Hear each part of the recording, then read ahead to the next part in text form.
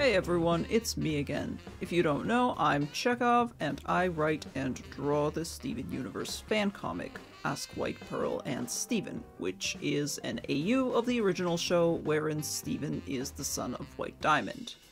If you haven't read it, maybe do that before watching this video, or don't. I'm not the boss of you. But this video will contain spoilers for both the fan comic and the original show, so if you care about that, this video is not right for you yet. Not right for you yet. There is still a chance to fix that. Pause it right now, go watch the entirety of Steven Universe, and then read my comic, and come back and let's talk. Okay? Okay. Today we're going to be doing another speed draw video where I answer some more of your asks. This time I'm drawing the 2024 New Year's illustration and season 5 of the comic has probably just begun, so we're going to be going through some asks that verge on spoilers and have to do with the future of the story. Uh, can't promise that I'll get to all of them, but let's see how many we can knock out.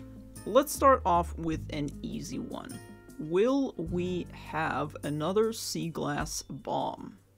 Oh, I hope so. If you don't know what a sea glass bomb is, it's a version of the Steven Bomb like event that the original show did, where they premiered a new Steven Universe episode every day for a week straight, a la Summer of Steven or the others.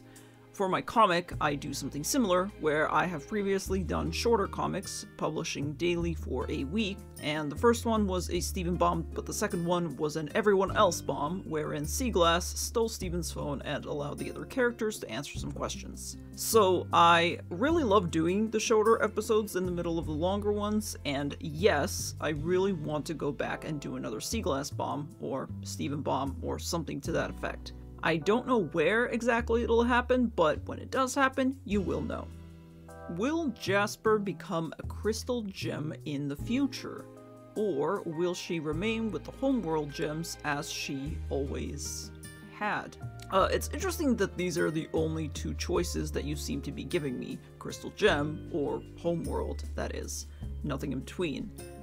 I guess I can understand where the dichotomy comes from, but I don't personally agree with it. In Jasper's case, it's particularly interesting because even in the original series, she was never really taken from one side to the other, at least not fully. Homeworld changed their rules while she was still technically siding with them, and she didn't change she still had her own convictions that aligned much more with Era 1 and 2 homeworld standards. Anyway, I don't think I can answer this question without spoilers, but I will say that this refusal to change is a huge part of Jasper's overall character. I don't think it would be easy to convince an audience, the same audience that watched Jasper be shattered and still remain loyal to what she perceived to be her diamond, that she could just suddenly turn around and love the Earth. Neither do I think that being loyal to a diamond that loves the Earth counts as being a true crystal gem. Anyway, my point is, I can't answer this without spoiling anything, but if it does happen, it's gonna take a long time, and it'll still be really complicated. I hope this is okay to ask because I've been dying to know. Will Pearl get her own arc in the comic? Or, not being too specific, will she and Rose? Good question. Yes. I can answer this, it's not a spoiler. Yes, she will. She and Rose and their relationship has not had many opportunities to evolve as of yet. At the moment, Rose is still dating Greg in the story, and Pearl is still tolerating it because, as we know, she is fine with the men who would come into her life now and again. But things are changing. Without the catalyst of Rose's death, it'll be messier and more complex to untangle the vines that tie those two together, and I am really excited to get into it. There will be other things that happen to drive the main change, and it'll take me a bit to ramp it up, but we are getting there, I promise. We're, we're getting there. Will S, the mystery girl with pink hair and green eyes, appear? While I really love Last One Out of Beach City, the episode that features Mystery Girl, I don't think there will be a simple way to insert her into the narrative, if I'm being completely honest. Especially in regards to the previous Ask. This AU is a very different story from the original Steven Universe, and while the ingredients may seem similar, we are frying, not baking, so to speak. My point is, some characters, including Mystery Girl, only kind of work within the canon narrative. The mysterious S was there to throw Pearl something she would clearly be interested in, without Rose being immediately present.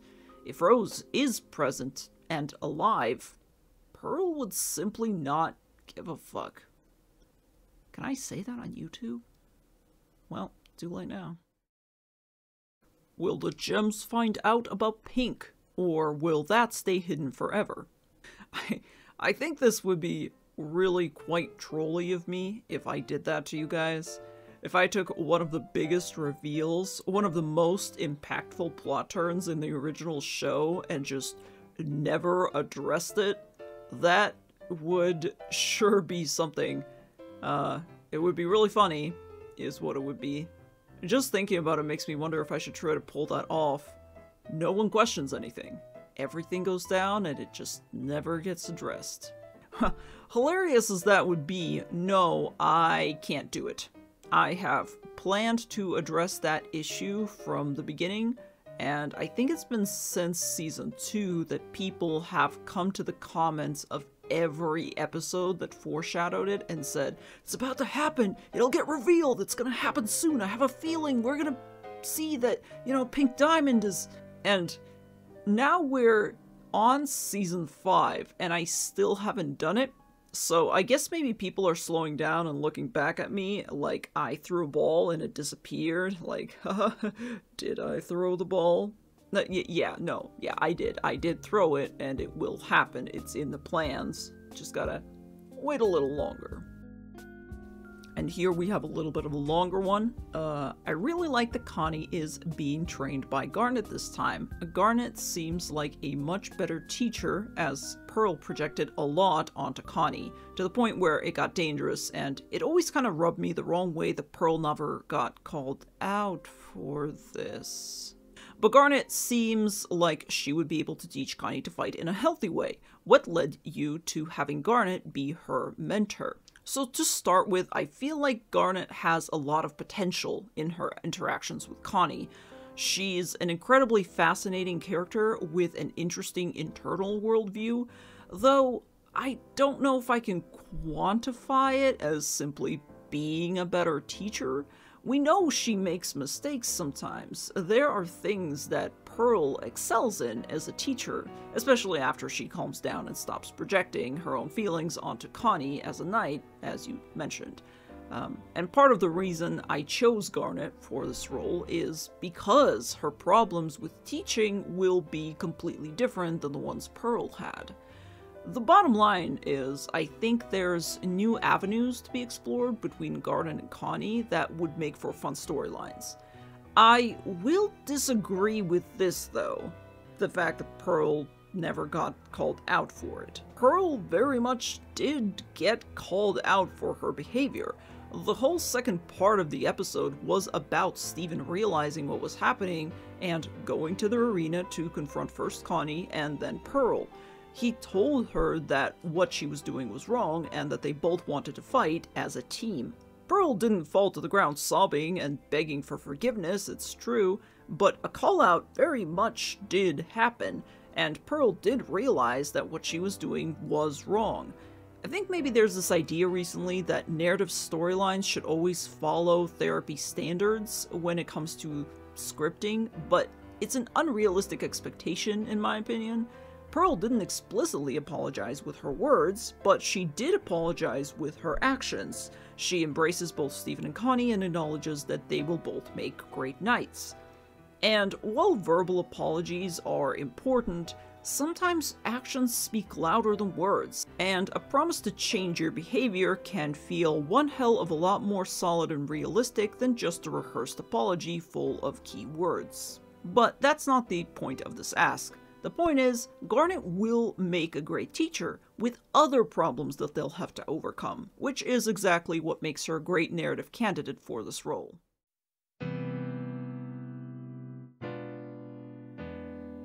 And I think with that, we're just about done here. Thanks as always for joining me in this video. If you have questions you'd like to ask, you can either send it to me on Tumblr or post it directly in the YouTube comments down below. If you want to read the comic in full, please head down to the link in the description. And although I don't really care if you like and subscribe, I do ask that you make sure to say something nice to at least one stranger today. Cheers!